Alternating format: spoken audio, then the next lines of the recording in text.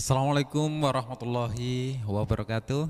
Waalaikumsalam warahmatullahi wabarakatuh. Alhamdulillah kita masih di Al Barokah Channel dan semoga saja kesehatan pada kita semuanya. Amin. Selawat serta salam semoga selalu tercurahkan kepada junjungan kita Nabi besar Muhammad sallallahu alaihi wasallam dan semoga saja syafaat beliau kepada kita semuanya. Alhamdulillah kita masih bersama guru kita di sini Ustadz Sihab, bagaimana Ustadz kabarnya? Alhamdulillah sehat. Alhamdulillah Gimana sehat Ustadz. sehat? Alhamdulillah sehat Ustadz. Iya, walaupun di sini kita cuma berdua ya Ustadz ya. Alhamdulillah, insya Allah setelah lama kita tidak bikin video-video seperti ini, insya Allah semoga ini memberikan manfaat untuk kita dan umumnya untuk anda semuanya. Iya, Begitu ya ingin- Ustadz. Kita ingin menyapa saudara-saudara kita yang mungkin Iya. sedang apa di asrama atau di mana yang tidak bisa ke masjid karena Iya. memang masjid sedang ditutup, Ditutup, karena iya. pandemi ini ya.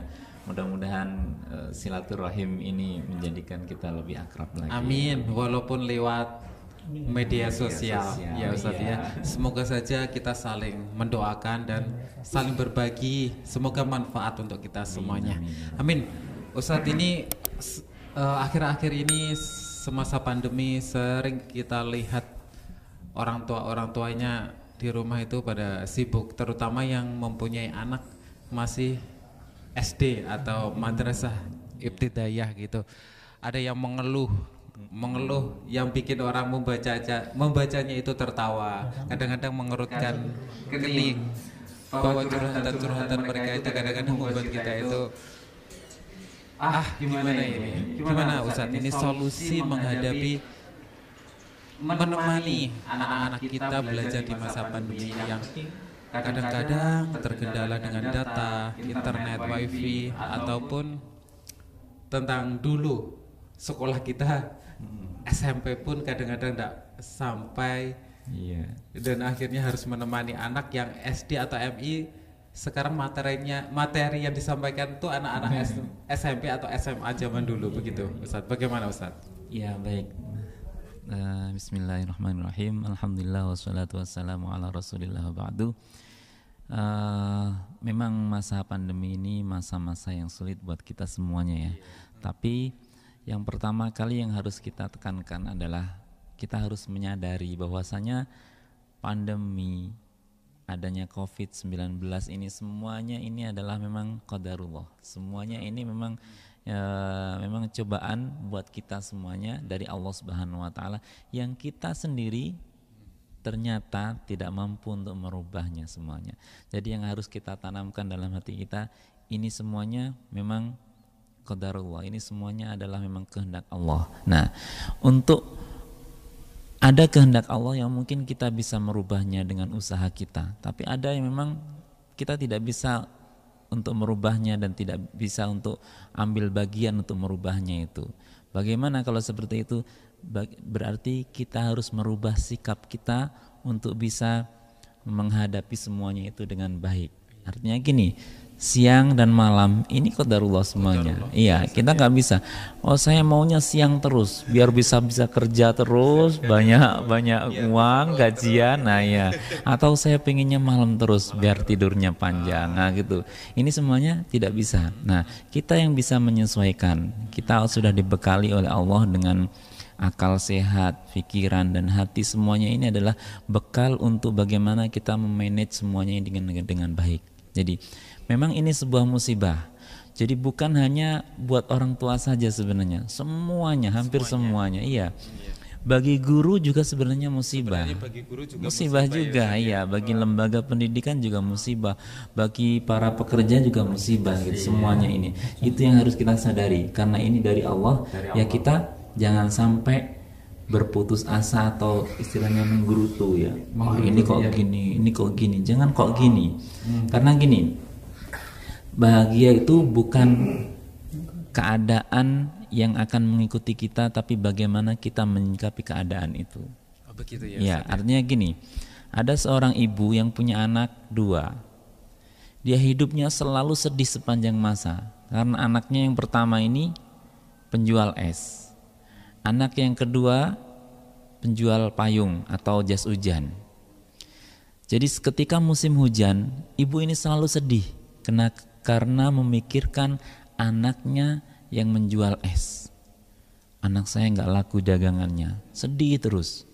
Dan ketika musim berganti menjadi musim panas, ibu juga bersedih karena memikirkan anaknya yang menjual payung atau menjual jas hujan, dagangannya nggak akan laku. Jadi sepanjang hidupnya selalu bersedih. Kenapa? Karena memikirkan dua anaknya.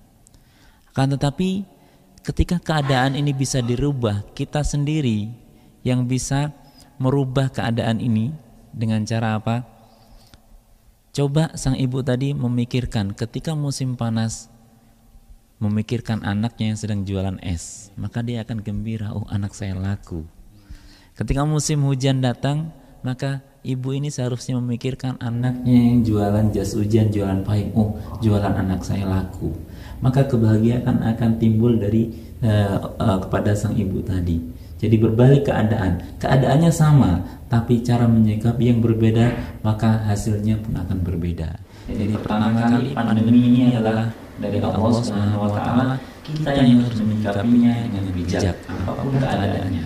Sehingga kita tidak akan merasakan wah ini protes. Protes. Saya itu ya protes kepada Allah ini Allah gimana sih? apa maksudnya? Apa maksudnya? iya. Kita tidak mengerti iya.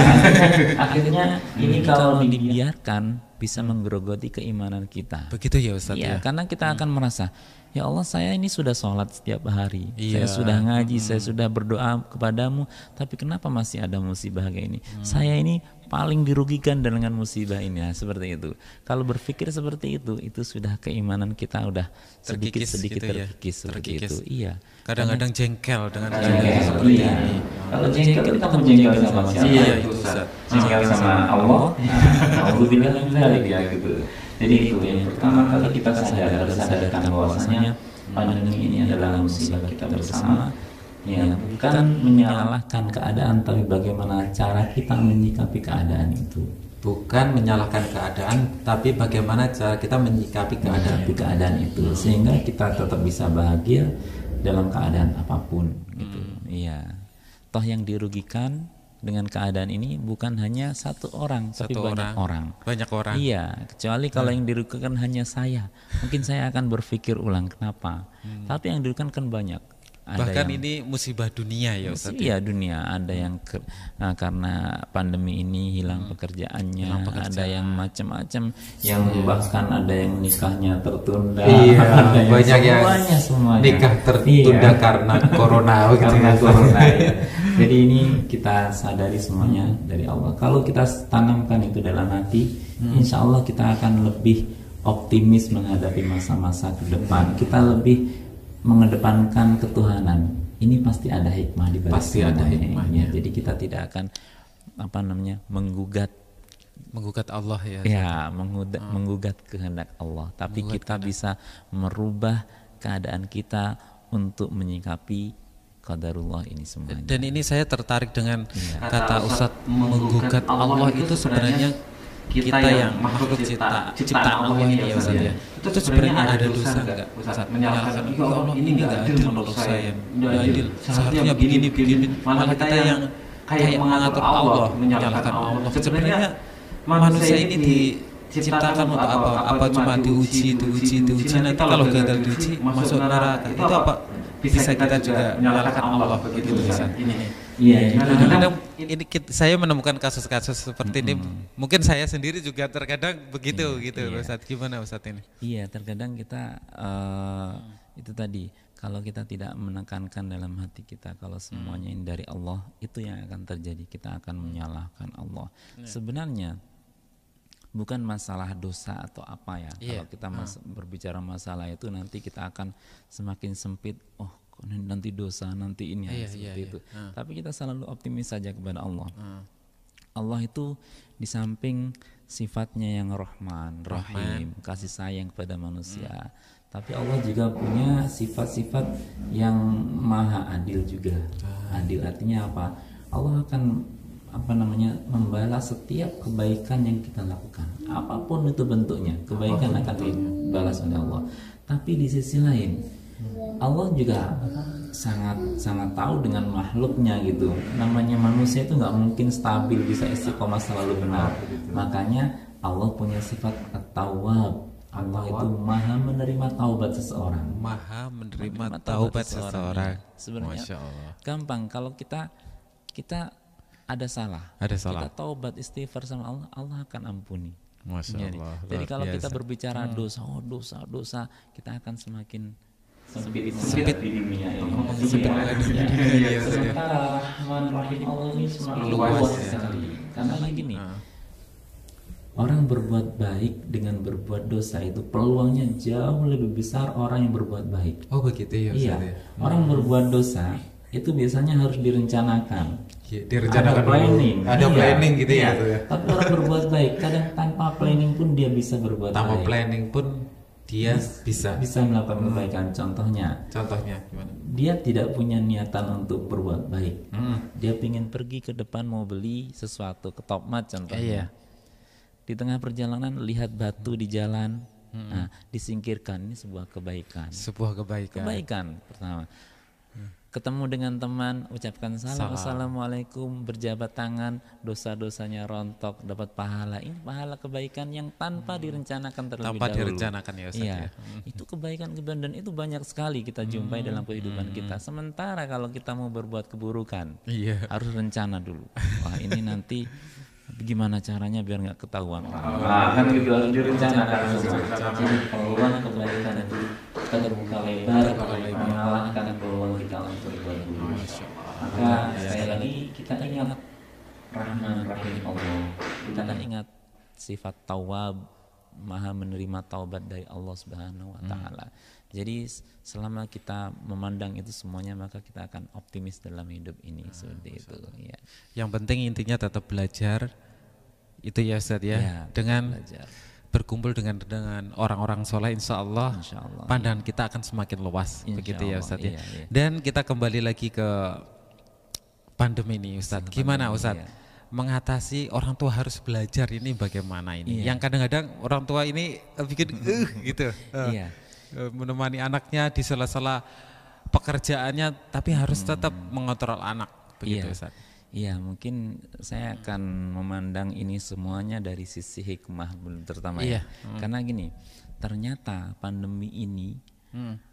di satu sisi merusak sistem-sistem yang sudah dibikin oleh manusia, Iya. oleh manusia Hmm. ya. Contohnya sistem itu apa? Rencana. Contohnya, Rencana. nikah gagal, terus rencana harus wisuda gini-gini kerja ternyata Ah, ternyata gagal. pandemi. Ini Hmm. sistem yang dibuat manusia. Iya. Ini semuanya. Tapi di sisi lain mengembalikan sistem yang dibikin manusia yang ternyata itu sudah melenceng kembali pada rel yang benar. Kembali ke Contohnya rel yang gini, benar. Contohnya Ustaz. masalah anak. Anak, ah, ah, ah, ini Kewajiban mendidik anak itu sebenarnya adalah yang pertama kali kewajiban orang tua. begitu ya. Orang tua Bukan kewajiban setelah orang- dititipkan bukan guru, sekolah kita bukan. dada Iya, begitu ya ya. nah. Kesalahan orang tua adalah ketika menyekolahkan anak bahkan ketika itu mencari sekolah yang favorit dengan Yang harga terbaik yang gitu. mahal Mahal, benar. sudah saya bayar selesai pokoknya Selesai. urusan guru Urusan guru. Ah, ini kesalahan orang tua karena begitu. orang tua itu punya kewajiban untuk mendidik anaknya bukan gurunya sebenarnya Sebenarnya bukan gurunya tapi bukan guru. nomor satu yaitu Nomor satu orang, tua. Hmm. Makanya meskipun dia sudah bisa membayar uh, sekolah yang mahal, tapi dia tetap punya kewajiban untuk mendidiknya ketika Hmm. di rumah, ketika apa bagaimanapun. Mem- Menyekolahkan anak, membayar uh, biaya pendidikan yang mahal, ini Hmm. adalah bagian dari itu tadi, bagian dari kewajiban orang tua yang ingin Hmm. Iya. menjadikan anaknya menjadi anak yang pintar, anak yang berakhlak seperti itu. Nah, ini ini seakan-akan Allah ingin mengembalikan ini semuanya pada ini loh kewajiban kamu sebenarnya ini, Ini untuk fitrahnya, anak. Nah, begitu ya, Ustaz, ya? Ternyata setelah itu semuanya dikembalikan, orang tua banyak yang waduh, saya kan sibuk, saya kan ini Iya, Nah, itu. begitu. Itu sebenarnya harus diambil positifnya kesadarannya oh ternyata memang kewajiban mendidik ini saya sebenarnya gitu bukan Hmm. guru bukan apa gitu karena selama ini ada juga sebagian Iya. orang yang akhirnya eh, apa ketika semua ini tidak sesuai dengan target semuanya Iya. tidak sesuai sesuai dengan ekspektasi yang Hmm. dia inginkan akhirnya apa protes ke lembaga Iya. gurunya disalahkan semuanya. Ini kenapa? Saya sudah bayar mahal tapi anak saya nggak bisa, anak saya nggak bisa ini ini. Padahal gurunya sudah berusaha, tapi karena mungkin di rumah tidak didukung dengan lingkungan, keluarga yang baik, ini juga uh, bukan sebuah pendidikan yang baik. Nah, gitu. Makanya sekali lagi ini Allah ingin mengembalikan fitrahnya sebenarnya secara tidak langsung fitrahnya dikembalikan. Itu yang pertama. Yang kedua uh, Allah seakan-akan ingin menunjukkan kepada semua kalangan sekarang itu zaman dan era teknologi. Semua hampir hal-hal yang kecil pun menggunakan teknologi, menggunakan media ataupun apa pun itu bentuknya yang sifatnya adalah kemodernan, ya kemajuan zaman. Iya. Artinya apa? Ternyata orang tua juga harus melek teknologi. Ah, itu. Nah, ketika pembelajaran online, Iya, nah, pembelajaran karena memang online. Terbatas uh, untuk pertemuan tatap muka, akhirnya kan online. online. Hmm. Iya, online semuanya. Orang tua itu nggak bisa hanya sinar membelikan handphone yang bagus, Iya. smartphone, kemudian membelikan data yang Iya, bergiga-giga, gitu. Habis itu udah selesai, silakan Selesai. belajar sendiri. Ah. Anak yang sudah tahu satu dua hal tentang media sosial, tentang masalah YouTube dan sebagainya, YouTube dan dia akan lain-lain. bereksplorasi. Mhm. Kalau tidak dikontrol ini bahaya. Berarti orang tua harus tetap Harus melek mendampingi. teknologi juga. Melek teknologi. Iya, Berarti iya. orang tua harus ngikutin ya Ustaz ya. Ngikutin, Perkembangan iya, teknologi. Benar, minimal kalaupun tidak paham, saya nggak tahu itu gadget apa, nggak tahu itu YouTube apa, Hmm. nggak tahu itu apa apa namanya email dan sebagainya. Iya, ha. Minimal dia akan mengontrol apa yang dilakukan anak saya dengan smartphone-nya, apa yang dilakukan anak saya dengan apa namanya data yang setiap hari saya berikan. Nah itu itu kontrol, Hmm. Kontrol. dan itu harus ada. Kalau tidak maka akan yang terjadi seperti yang kita lihat di me- media-media ada anak Iya. karena ngakunya belajar bersama ternyata ini nonton apa nonton Iya. apa itu jadi itulah jadi itu semuanya juga nggak bisa kita semata-mata menyalahkan anak ini Hmm. anak bla bla bla terus ujung-ujungnya ini gurunya gimana sekolahnya itu, gimana nyalain guru, akhirnya nyalain banyak anak. sekali yang salah gitu Iya. padahal yang salah Orang siapa? tuanya. Nah, Ah, kontrol begitu. itu ternyata memang mendidik anak itu berat gitu kalau kita punya anak satu dua atau tiga Hmm. kita mendidiknya aja susah gurunya itu di sekolahnya itu banyak Iya. 30. 30. makanya saya 30. pernah dengar ada seorang kiai itu ketika ada pertemuan dengan beberapa wali murid itu Ah, mengatakan itu. Hmm. ibu-ibu kalau pingin awet muda wah, silakan anaknya masukin pesantren katanya gitu apa hubungannya Pak Kiai gitu Ah, iya iya iya. Sekarang kita lihat ibu-ibu berapa kali ribut dengan suami cuman karena karena anak? Oh, oh iya juga. Kiai oh. berapa kali ibu ribut dengan anak-anak cuman karena merintahin sholat? Oh iya juga ya. Berapa kali ibu ribut dengan anak karena bangunin nggak mau bangun? Nggak mau bangun. ribut terus. Sehari bisa dihitung berapa kali ribut kan gitu ya. Nah kalau anaknya masukin pesantren ibu nggak akan ribut lagi. Kenapa An- yang ribut dengan anak adalah pengurus-pengurus Pengurus-pengurus, pesantren ya, ya. guru-gurunya seperti itu. Ibu lebih mudah lagi nanti nggak banyak ribut nggak banyak marah nggak darah tinggi seperti, Iya. seperti itu. Jadi itu kembali lagi jadi ternyata Allah ingin menggalikan mengembalikan fitrah yang seharusnya cuman kadang-kadang kita nggak sadar Ya, gitu kita ya, nggak Ustaz. sadar ya Karena merasa kita sudah membayar, Itu kita dia. udah memfasilitasi anak untuk masuk Iya. sekolah, tapi kok hasilnya tidak sesuai Nggak dengan sesuai iya. pemikiran kita Mm-mm. bahwa sebenarnya ini Allah itu ingin mengembalikan fitrah Iya. kita sebagai orang tua kita menyadari bahwa tugas mendidik anak itu nomor satu yaitu orang tua, orang tua tetap iya, ya Ustaz iya. ya Iya, memang dengan usaha menyekolahkan anak. Menyekolahkan semuanya. anak. Iya itu. Karena gini, kalau seandainya pendidikan hanya bisa dinikmati oleh orang-orang yang berduit saja dengan membayar, Hmm. maka nasib orang yang nggak punya duit, nasib orang miskin nggak akan bisa menikmati pendidikan. oh iya Tapi ternyata tidak. Hmm. Pendidikan ternyata Allah fitrahnya adalah Allah berikan kepada semua orang. kepada semuanya Hmm. Ada banyak orang yang nggak punya uang, yang miskin, tapi ternyata pendidikannya bisa tinggi, oh iya Mm-mm. akhlaknya bisa baik. akhlaknya bisa baik Iya, dan semuanya ini dari mana? Bukan dengan semata-mata uang. Artinya gini, kalau uang yang banyak dengan menyekolahkan anak bisa membeli semuanya, maka orang yang kaya itu yang paling beruntung. Yang paling beruntung. Tapi ini semuanya tidak berlaku. Tidak berlaku ya, Ustaz tidak ya. berlaku. Sekali lagi kembali kepada kita masing-masing. Hmm, Jadi itu tadi Allah ingin mengembalikan fitrahnya kepada aslinya dan sekali lagi Allah ingin membuka semuanya ini bahwasanya kita harus melek teknologi. Melek Siapa pun teknologi. itu orang tua. ya. Orang tua. Iya, kontrolnya. Maka Rasulullah juga pernah mengingatkan Iya. uh, akrimu auladakum wa ahsinu adabahum kan itu. Muliakan anakmu dan perbaiki adab akhlaknya. Muliakan, Muliakan anakmu anakmu dan dan perbaiki perbaiki adabnya. adabnya. Artinya apa? Anak itu anugerah. Anugerah itu. Di satu sisi Al-Qur'an menyatakan al-mal wal banun zinatul hayat semuanya itu termasuk anak-anak itu adalah bagian dari keindahan kehidupan, hiasan kehidupan. Hiasan. Tapi di sisi, di sisi lain dia adalah cobaan bagi orang tua. Hiasan sekaligus cobaan. Cobaan bagi orang tua. Artinya apa? Kalau bisa mengendalikan, kalau bisa mengarahkan dengan baik, itu akan menjadi anugerah. Tapi kebalikannya, kalau tidak bisa mengarahkan, kalau tidak bisa memberikan eh, kebaikan atau mendidik dengan baik, maka itu akan berbalik menjadi pemberat buat orang tua yang tidak memberikan hak-hak anak untuknya seperti itu. Berarti bisa jadi anugerah dan musibah gitu ya, Ustaz. bisa jadi Bisa di jadi ya, sisi lain di jadi sisi lain. ada dua mata uang apa Ya. apa istilahnya itu Tergantung kita mau Iya. membaliknya di mana ya. benar iya Berarti orang tua di sini Islam itu Allah ya.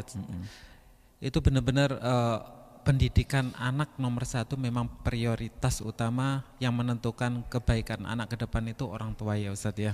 lingkungan terdekat dan kondisi sosial yang terkecil adalah orang tua, Orang tua. Hmm. makanya orang tua itulah makanya kullu mauludin yuladu al fitrah Hmm. lingkungan pertama adalah fa'abawahuma orang tuanya yang akan bisa men- menjadikan dia ke sana kemari kemari semuanya orang tua Orang tua. Iya.